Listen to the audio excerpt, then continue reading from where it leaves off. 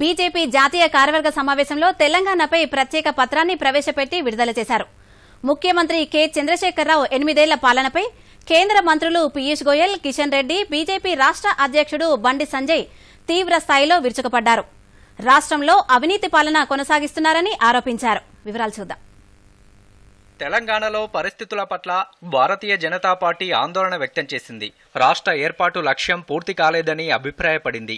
HICC వేదికగా జరిగిన BJP జాతీయ కార్యవర్గ సమావేశాల్లో తెలంగాణపై సమగ్ర చర్చ జరిగినట్టు పార్టీ సీనియర్ నాయకుడు పీయూష్ గోయల్ తెలిపారు. చర్చ అనంతరం ప్రకటన విడుదల చేసినట్టు ఆయన చెప్పారు. కేంద్ర మంత్రి కిషన్ రెడ్డి రాష్ట్ర బీజేపీ అధ్యక్షుడు బండి సంజయ్తో కలిసి ఆయన మీడియాతో మాట్లాడారు. ప్రజలకు ఇచ్చిన హామీలు నెరవేర్చడంలో టీఆర్ఎస్ ప్రభుత్వం విఫలమైందని పీయూష్ గోయల్ ఆరోపించారు. కాళేశ్వరం సహా అన్ని సాగునీటి ప్రాజెక్టులలో అవినీతి జరిగిందని కేంద్రం నుండి వచ్చిన నిధులు దారిమల్లాయని ఆరోపించారు. కేసీఆర్ హయాంలో విద్య వైద్యం ఇలా అన్ని రంగాలు కుంటుపడ్డాయన్నారు. ప్రజల్లో అశాంతి నెలకొందన్నారు. రాష్ట్రంలో బీజేపీ ఒక్కో విజయం సాధిస్తోందని కేంద్ర మంత్రి తెలిపారు. జీహెచ్ఎంసీ ఎన్నికలు ఉప ఎన్నికల్లో ఘన విజయం నమోదు చేసిందన్నారు.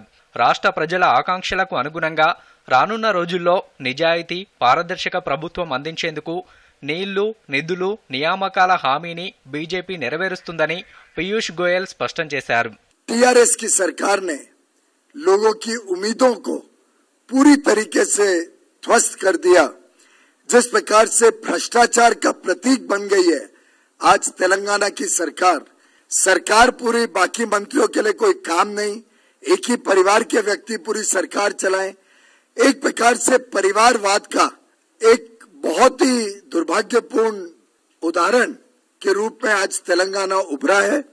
आठ वर्षों में केंद्र सरकार से भी बड़े पैमाने पे योजनाएँ आई पैसे आए। उसका दुरुपयोग हुआ।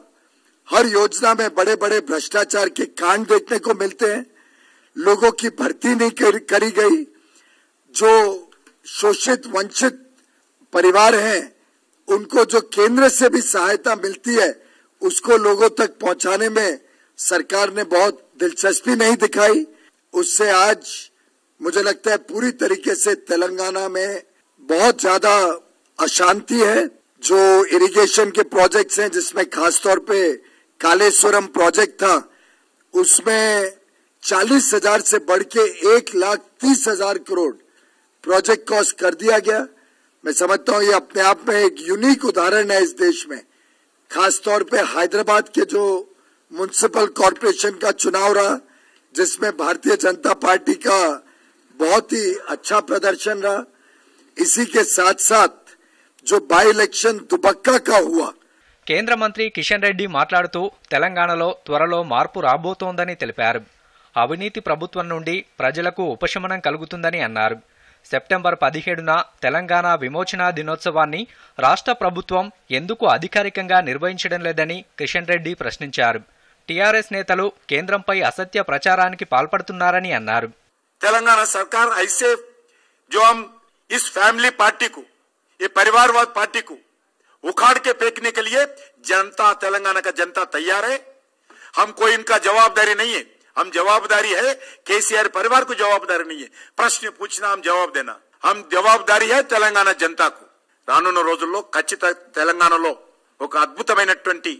మార్పు రాబోతుంది నరేంద్ర మోడీ గారి నేతృత్వంలో మరి ఈరోజు భారతీయ జనతా పార్టీ విజయం సాధించాలని ప్రజలు కోరుకుంటున్నారు